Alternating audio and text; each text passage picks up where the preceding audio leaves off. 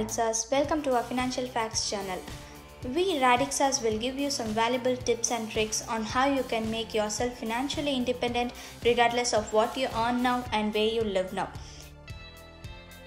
Today we are going to discuss about what is mutual fund and ETF, that is exchange traded funds. First let us see what is mutual funds. A mutual fund is a professionally managed investment fund that pools money from many investors to purchase securities, which means the investment companies that take in funds from many individuals mingle the money and buy a portfolio of stock or bond or other investment that they manage.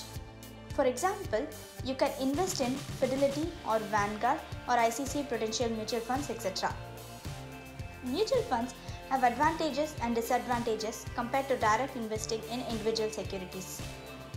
They can only be purchased at the end of the each trading day based on a calculated price.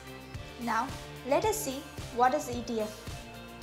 An exchange traded fund which is typically track a specific market index like Nasdaq, NYSE, BSE, S&P, etc.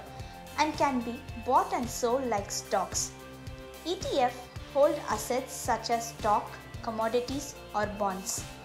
They offer more trading flexibility since it can be traded like stock. ETF expense ratios are typically lower than mutual fund fees. Thank you for listening.